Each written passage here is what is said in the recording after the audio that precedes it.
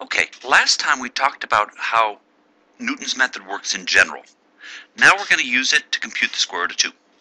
So suppose you lived in the dark ages, like 1970 or so, before, before calculators were common, and somebody said, okay, I need you to tell me what the square root of 2 is to 10 decimal places, and you can only do it by hand. Now, if you had no calculus, this is actually not nearly that bad a problem. It may sound tough, but you can do it in about five minutes. So let's see. What we're looking for is places a value of x for which x squared is 2. In other words, x squared minus 2 is 0. So that's our function f of x. And the derivative of that is just 2x. And we set up the table like we talked about last time. Let's take as our first guess something really rough.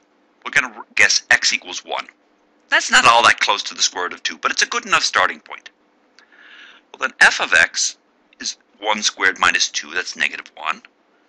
And f prime of x is 2. And our new and improved guess is going to be 1 minus negative 1 over 2. So that's 3 halves. So that's 1.5. Okay, that does a little bit better. We try 3 halves. And we say, okay, f of x 3 halves squared is 9 fourths minus 2 leaves 1 fourth. F prime is twice 3 halves, that's 3. And so we want 3, ha 3 halves minus 1 quarter divided by 3. That winds up being 17 twelfths. Okay. Let's keep going. 17 twelfths. If you square that, you get 289 over 144, which is 2 and 1 144th. So we're getting pretty good. F prime is 17 sixths. And now we wind up getting 17 twelfths minus 1 144ths divided by 17 sixths. And the arithmetic gets a little bit ugly. You can do it. The answer turns out to be 577 over 408. And yes, I did this all by hand, without a calculator. You plug in 577 over 408, you square that, you subtract 2, and you wind up getting 1 out of 166,464.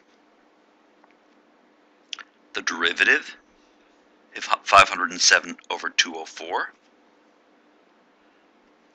And you take the difference, and it winds up being 665,857 divided by 4 uh, 470,832. Okay, it takes a little while to, to crank that out. But now we've got something that is actually good, good, really accurate we do this in decimals, this is 1.5. Our next guess was 1.41666. That's good to two decimal places. Square root of 2 is actually closer to 1.414, so the first two decimal places are good, the third one's not so good. This one turns out to be 1.4142156 and so on. That's good to one, two, three, four, five decimals. This 5 is a little bit off.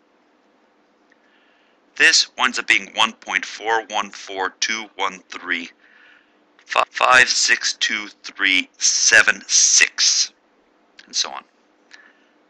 All these decimal places are right. It's wrong in the 11th decimal place. So Newton's method gives you really accurate answers and in fact, if you're wondering how does your calculator actually compute the square root of 2, this is how it does it. It uses an algorithm that's equivalent to Newton's method, and it zooms in on this number. Okay, next time we'll co come to the modern age, assume that you do have a calculator, and we'll solve a problem that you can't directly solve on a calculator, but that you can solve with Newton's method.